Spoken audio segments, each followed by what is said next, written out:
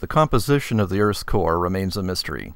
Scientists know that the liquid outer core consists mainly of iron, and according to current models, small amounts of so called light elements, possibly sulfur, oxygen, silicon, carbon, or hydrogen.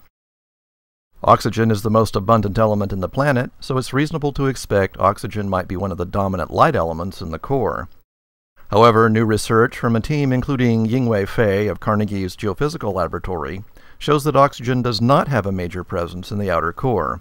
This has major implications for our understanding of the period when the Earth formed through the accretion of dust and clumps of matter.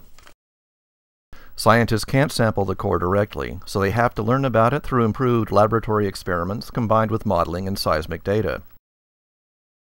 With increasing depth inside the Earth, pressure and heat also increase, and as a result, materials act differently than they do on the surface. Scientists know the variations in density and speed of sound as a function of depth in the core from seismic observations, but to date it has been difficult to measure these properties in proposed iron alloys at core pressures and temperatures in the laboratory. They shocked these materials to the liquid state and measured their density and speed of sound traveling through them under conditions directly comparable to those of the liquid outer core. By comparing their data with observations, they conclude that oxygen cannot be a major light element component of the Earth's outer core. The research revealed a powerful way to decipher the identity of the light elements in the core. Further research should focus on the potential presence of elements such as silicon.